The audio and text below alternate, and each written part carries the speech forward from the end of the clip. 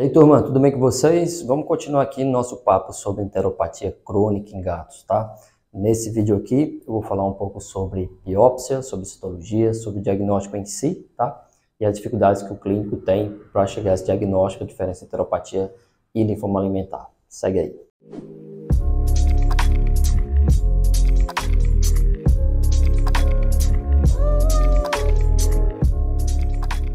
Então, turma, não esquece de seguir o canal, dar uma curtida aí, tá? Vamos compartilhar esse conteúdo, ajuda muita gente.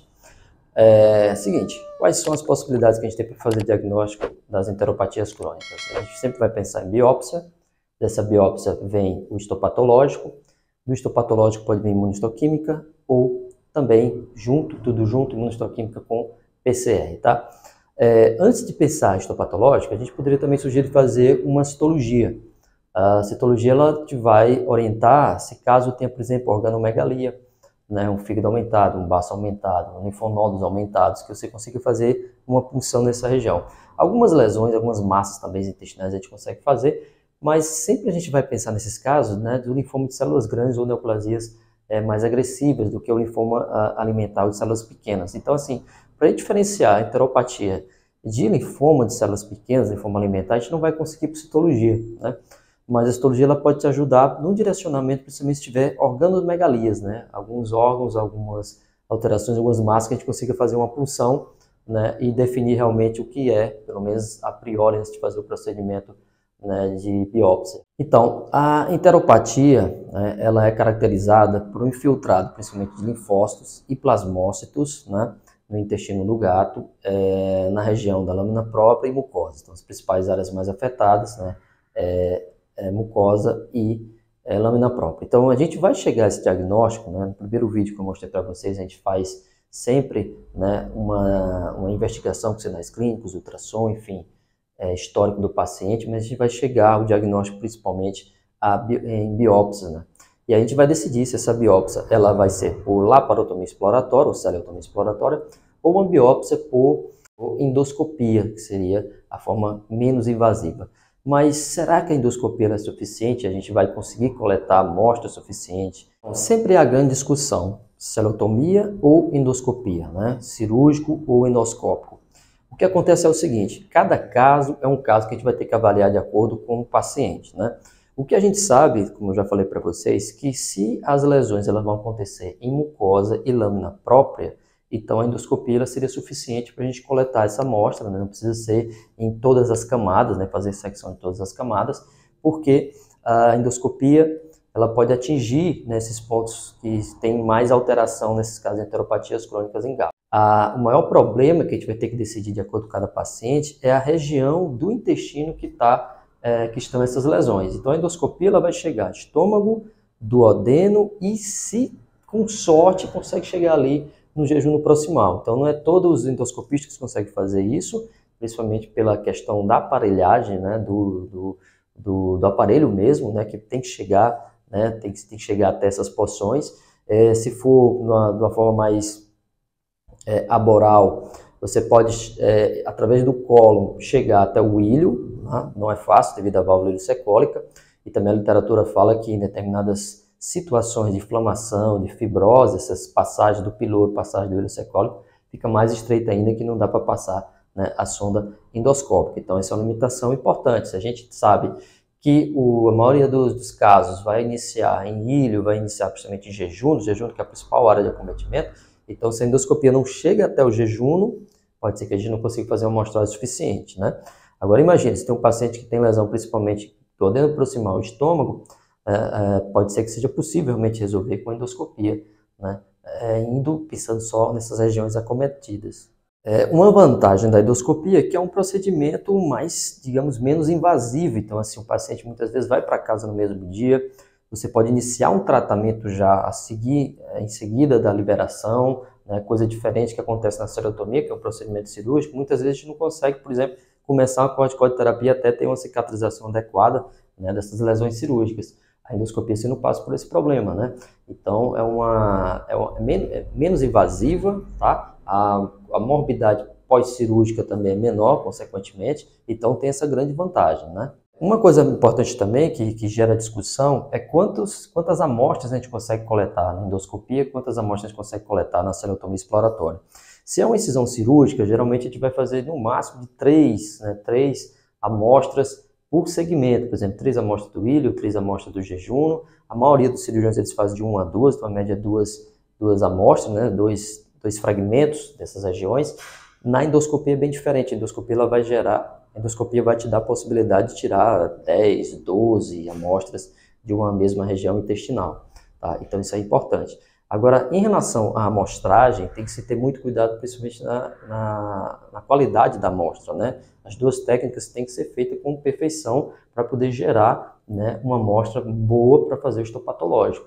É, por exemplo, no caso da celotomia exploratória, né, a gente vai fazer a incisão intestinal, por exemplo, e uh, o ideal é que a gente pegue muita mucosa, muito mais mucosa do que as outras camadas. Então, por exemplo, a incisão em bisel, ela não seria uma boa ideia, né? Eu já fiz muito, há muito tempo, eu fazia incisões em bisel, em cunha, né? Mas a quantidade da, da, da mucosa da lâmina própria que você pega nessa amostragem ela é menor, então você pode ter, você tem que fazer realmente sessões em elipse, né? Na parede, na, na área mesentérica, é, na borda mesentérica da parede intestinal, porque fica uma amostragem melhor.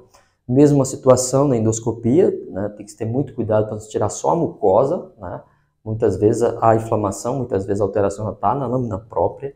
Então, assim, tirar só a mucosa, às vezes a mucosa se desprende também, né, nos preparos. Enfim, tem que ter muito cuidado nessa observação, na qualidade da amostra que você vai mandar para o patologista. Então, isso é, isso é fundamental. E aí vem uma vantagem da celeotomia, que para mim me agrada muito mais, que é você fazer a inspeção da cavidade abdominal. Você realmente prestar atenção em cada órgão, ver se não precisa fazer uma coleta é, de pâncreas, de fígado, que a gente sabe, muito parte, maior parte dos nossos pacientes vão ter também inflamação pancreática, inflamação hepática, né, às vezes problemas também de árvore biliar. Então a gente acaba também fazendo essa inspeção e coletar material desses outros órgãos, coisa que a, que a endoscopia é, não vai te dar essa oportunidade. Então assim, perceba que depende de cada paciente, de cada situação que a gente vai escolher se é por endoscopia ou se é por celotomia é, exploratória. É, então, é, quando a gente coleta a amostra, manda para o patologista, né, o que, que ele vai te dizer? A principal característica da enteropatia crônica, assim também como linfoma, é o infiltrado né, linfocítico plasmocítico em lâmina própria e, como falei para vocês, mucosa. Isso pode gerar algumas alterações arquitetônicas, como distorções de criptas né, da mucosa intestinal, embotamento de vilosidades, ou seja, alterações de morfologia de arquitetura é, da mucosa intestinal. Tá? É, uma coisa que é muito importante, que aí é o objetivo da, de fazer a diferenciação se é linfoma de células pequenas ou se é enteropatia crônica, é você saber que tipo de linfócito, né, que tipo de filtrado linfocítico está nessa estrutura, nessa amostra da mucosa e lâmina própria, tá? Pode afetar também, pessoal, as outras camadas, né? pode afetar a camada muscular, falei para vocês, em alguns casos até mais grave, a serosa, né? submucosa muscular e serosa, tá? É, mas o que é importante é a gente tentar definir se esses linfócitos são neoplásicos ou não. E aí é que entra na jogada a imunistoquímica e também, em alguns casos, a gente fazer o PCR, tá? para a gente saber se esses linfócitos eles são monoclonais, que aí já leva a suspeita a ser um linfoma, ou se são policlonais, que são é, ocasionados principalmente pela inflamação, pela resposta inflamatória intensa. Porque também há um, um grande problema, nossa maior angústia é o seguinte, que se sabe que uh, muitos pacientes, até na literatura fala que cerca de 60% dos pacientes eles podem ter lesões inflamatórias e lesões em outras porções intestinais é, de linfoma, tá? Então o paciente ele pode ter os dois juntos, pode ter enteropatia crônica junto com linfoma. Linfoma de células pequenas. Então, essa é uma grande questão, né? Hoje em dia já se tem uma forte suspeita que a enteropatia crônica pode é, predispor os pacientes a ter o desenvolvimento de linfoma de células pequenas, né?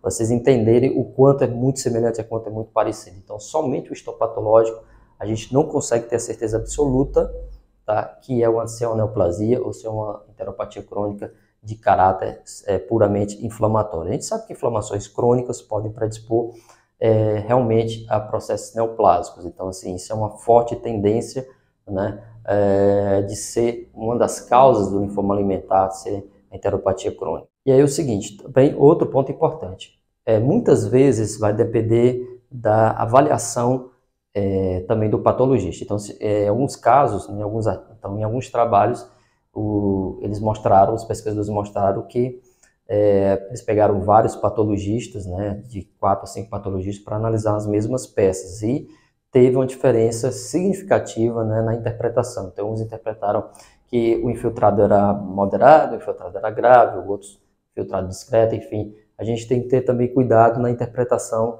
do patologista. Então, sempre juntar a clínica, é fundamental juntar a clínica, os outros exames e também o resultado do histopatológico. Né? E aí, sem dúvida, a imunistoquímica vai ser importante para a gente fechar esse diagnóstico, né, do, essa diferenciação do linfoma alimentar e da enteropatia crônica. Então, a vantagem da imunistoquímica é que ela vai utilizar anticorpos específicos né, contra antígenos, que são biomarcadores ali, chamados epítonos, é, naquele tecido, né, naquela amostra de, da mucosa e da parede intestinal, e aí vai identificar justamente o, a, qual tipo de proliferação, proliferação que está ocorrendo ali, qual célula que está proliferando, e através desses biomarcadores vai, é, vai ter uma identificação se é uma multiplicação monoclonal, que é mais comum né, em, em neoplasias, ou multiplicação policlonal, né, por vários, é, advindo de várias células, vários tipos celulares, é mais comum em doença inflamatória. Então, isso é o principal uso da imunistoquímica, é isso, é determinar se, são, se é uma multiplicação, se é uma proliferação monoclonal ou policlonal. Então, os principais antígenos utilizados é o K167, né, o CD3, o NK, enfim, são marcadores de linfócitos monoclonais, tá? Mas o que se sabe também, olha, outra dificuldade que, que, que a gente tem, é que uma inflamação crônica, ela pode gerar também resposta monoclonal. E então, olha o quanto que, o, que a situação é intricada.